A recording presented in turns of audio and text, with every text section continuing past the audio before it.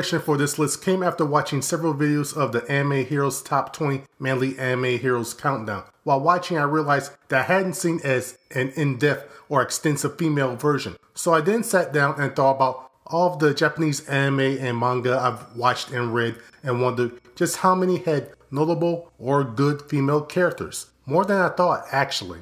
This will be the biggest project I've done so far on YouTube, and I believe that I've learned from my mistakes from the aborted Trial of the Flash retrospective to make this one as good as possible. That being said, I have set a few rules for myself. One, I have to have seen the series myself or read it. So even if someone recommends a character, if I haven't seen it or read it, it won't be considered. Two, I don't have to have seen or read all of the source material the character is derived from, but just enough to get the gist of the character. 3. Unlike most lists where there's only one character allowed per series, I won't do that. While I won't make and have like 10 characters from one series on the list, I can guarantee that more than one series will have multiple characters on the list. 4. Other than that, there are no rules.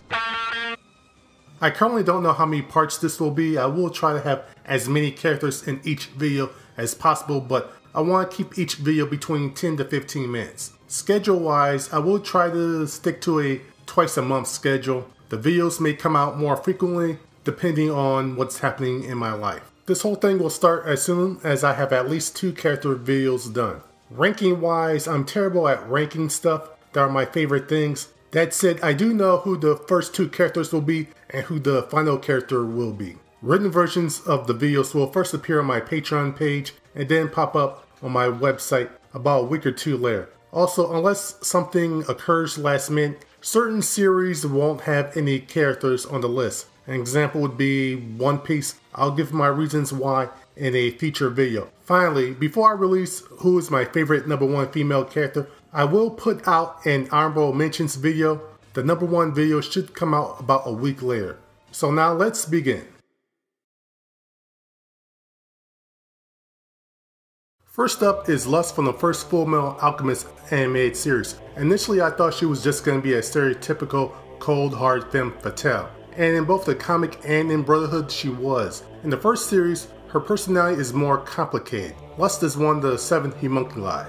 In the series, in order for homunculi to be created, someone has to break the biggest rule of alchemy, bringing the dead back to life via human transmutation. What's summoned is in the image of the alchemist's loved one, but doesn't have the soul or personality of them. So basically, they are the physical manifestation of the alchemist's sin. In Lust's case, she was created when Scar's brother tried to resurrect his lover. At the start of the series, she's confident, sexy, and lethal. But as the series continues on, she starts to become a more broken and insightful individual. After a while, we discover the homunculi's goal is to become human. What I liked was seeing her journey and her evolution as a character, seeing her start to show more and more vulnerability and human emotions. We get to see her backstory and her connections with other characters, such as the Elric brothers, Scar's brother, the main villain, and even the other homunculi. She wants to become human because she wants to become whole.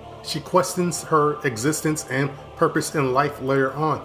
This hit home for me the first time I watched the series. I was at crossroads in my life.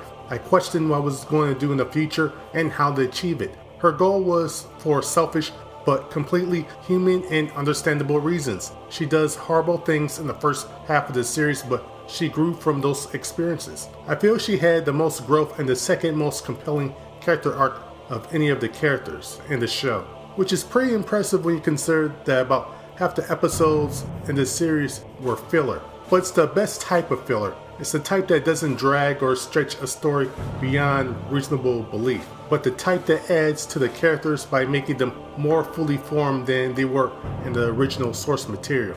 While I enjoy the original comic and Brotherhood more, I do like the character arcs of Lust and Izumi Curtis more in the first animated series. I just love the complexity that they had in the first animated series. Lust's story had a bittersweet ending to it, but it did feel complete.